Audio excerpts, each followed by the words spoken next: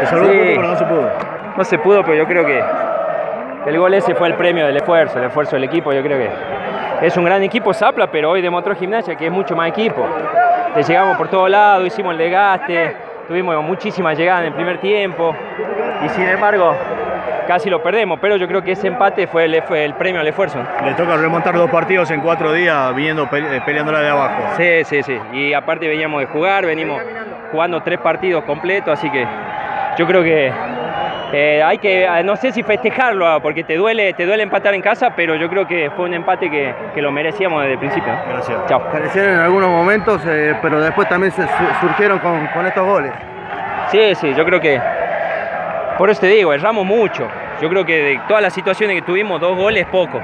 Pero bueno, eh, tenemos que ajustar en defensa porque nos hicieron dos goles y eso no, no hace sufrir, ¿no? ¿Se A estudió, nadie el le- rival? ¿Se estudió el rival?